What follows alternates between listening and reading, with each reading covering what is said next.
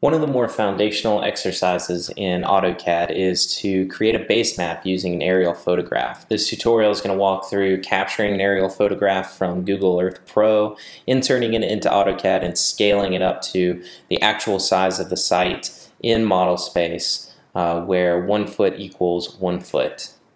First we're going to start in Google Earth. I have uh, this view of Overton Park in Memphis, Tennessee as a view in Google Earth Pro. I'm going to zoom into a portion of the site where I want to capture uh, this aerial and actually use it as the base map, the beginnings of a base map in AutoCAD. One of the very first things that you must do is go to View, Reset, Tilt, and Compass. What this will do is uh, have a parallel projection as best as Google Earth can uh, directly on top with north uh, being straight up in this view. Second thing we're going to do is to toggle on the Save Image uh, panel right here. We're going to go to Map Options. I've already unchecked all of these elements and I've set the resolution to maximum. This is one of the great advantages of Google Earth Pro, allowing you to get a high resolution export uh, from one single view. At this point, I'm actually going to save this image. In my case, just save it to my desktop.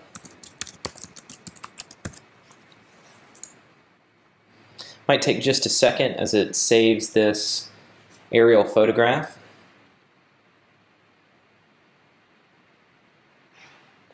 In the meantime, I'm going to go ahead and come on over to my blank AutoCAD drawing.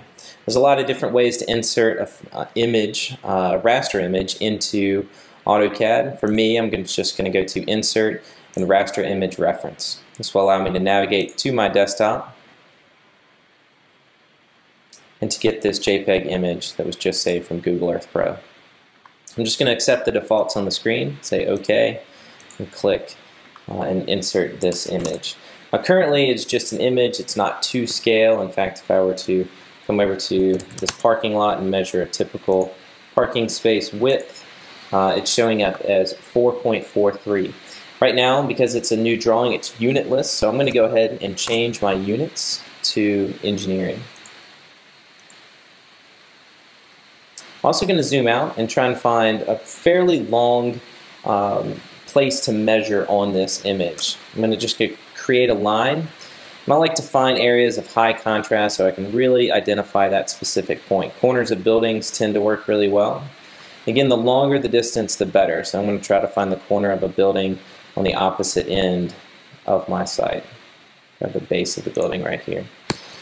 Now the longer the measurement, the better.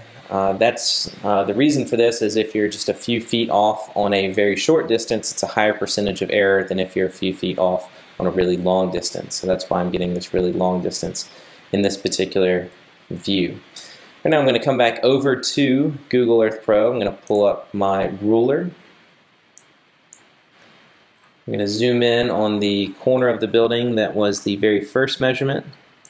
Click a point zoom out, and then zoom back in on this point over here, right at the base.